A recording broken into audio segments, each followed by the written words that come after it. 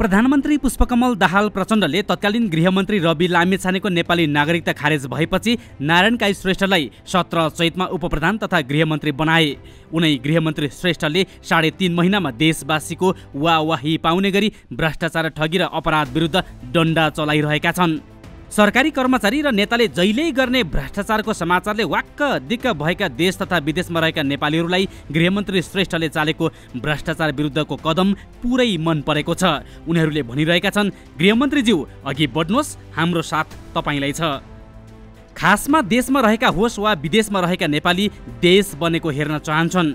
देश विकास नहुनुको कारण कर्मचारी र नेताहरूले वर्षौँदेखि गर्दै आएको भ्रष्टाचारलाई मान्छन्। त्यसका लागि राम्रा नेताको खोजीमा वर्षौँदेखि नेपालीहरू छन्। भ्रष्टाचारी र ठगहरूलाई जेलमा पुर्याउन् भन्ने धेरै जनताको चाहना छ। जनताको यही चाहना अनुसार गृहमन्त्री श्रेष्ठले अहिले ललिता निवास काण्डमा मुछिएकाहरूलाई धमाधम पक्राउ गरिरहेका छन्। ललिता निवासकै काण्डमा हालसम्म बाह्रजना पक्राउ परिसकेका छन्। श्रेष्ठ नेतृत्वको गृह प्रशासन अन्तर्गत रहेका नेपाल प्रहरीले यसअघि पनि नक्कली भुटानी शरणार्थी काण्डमा पूर्व उप प्रधानमन्त्री तथा एमालेका तत्कालीन सचिव टोप बहादुर रायमाझी पूर्व गृहमन्त्री तथा काङ्ग्रेस नेता बालकृष्ण खाँड सहितका सोह्रजना नेतालाई जेलमा पुर्याएको छ।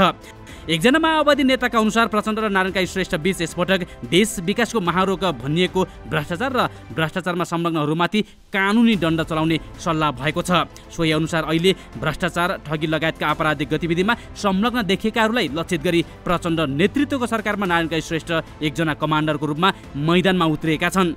पहिलो पटक प्रधानमन्त्री प्रचण्ड हुँदा तत्कालीन अर्थमन्त्री डाक्टर बाबुराम भट्टराईले तिस भन्दा कम ऋण भएका हजारौँ नागरिकलाई ऋण मुक्त गराएका थिए। आर्थिक वृद्धि दर नेपालका इतिहासमा सर्वाधिक राजस्व सङ्कलन पनि भएको थियो जसलाई नेपालकै सर्वाधिक सफल अर्थमन्त्री भनेर चिनिन्छ।